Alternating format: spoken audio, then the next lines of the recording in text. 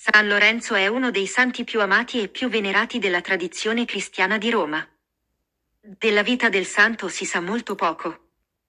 Originario della Spagna e più precisamente di Osca, in Aragona, alle falde dei Pirenei, fu inviato a Saragozza per completare gli studi umanistici e teologici. Fu qui che conobbe il futuro Papa Sisto II. Questi insegnava in quello che era, all'epoca, uno dei più noti centri di studi della città e, tra quei maestri, il futuro papa era uno dei più conosciuti ed apprezzati. Tra maestro e allievo iniziarono quindi un'amicizia e una stima reciproche. In seguito entrambi, seguendo un flusso migratorio allora molto vivace, lasciarono la Spagna per trasferirsi a Roma. Ed è qui che inizia la sua storia che si intreccia con uno dei martiri più crudeli, ma anche più famosi. L'impero in crisi, fu minacciato dalla pressione dei popoli germanici e dall'aggressività persiana.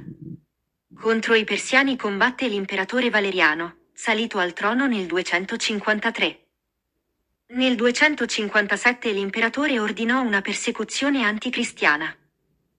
Lorenzo, ormai arcidiacono di Papa Sisto II, venne condannato a morte nel 258 come tutti gli altri vescovi e preti di Roma.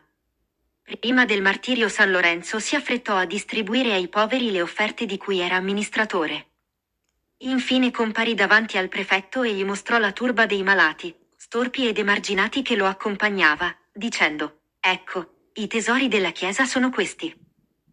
Fu bruciato sopra una graticola, un supplizio che ispirerà opere d'arte, testi e detti popolari per secoli.